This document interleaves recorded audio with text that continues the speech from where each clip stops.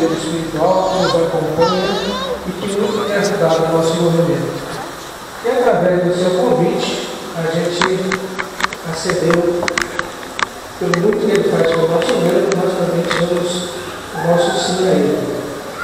E o convite foi para que é, fizéssemos a catequese de um grupo em que estavam buscando batismo, primeira Eucaristia, crisma e matrimônio. O desafio era bastante grande e a gente aceitou diante de uma turma que foi bastante receptiva. E o desafio maior então foi prepararmos um programa em que contemplasse todas essas necessidades dessa comunidade. E assim fizemos, iniciamos o nosso trabalho no início do ano, é, fazendo primeiro a apresentação a todos da criação, plano de Deus para a sua salvação. Fizemos também uma apresentação da composição da Bíblia, estudamos sobre o Antigo Testamento, Novo Testamento, a sua composição.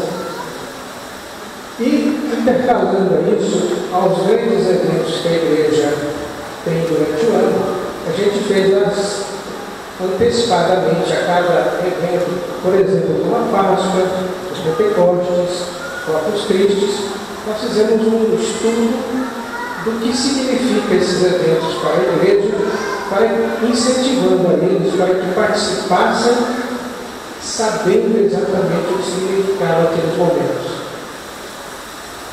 Também chegamos ao conteúdo da vida de nosso Salvador Jesus Cristo, seu nascimento, seu batismo, sua vida pública, seus milagres e sua missão.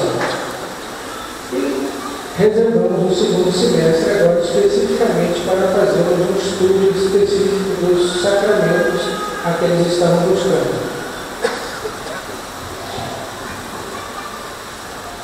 A nossa intenção realmente era realmente trazer para cada um que estivesse conosco o que pede a igreja.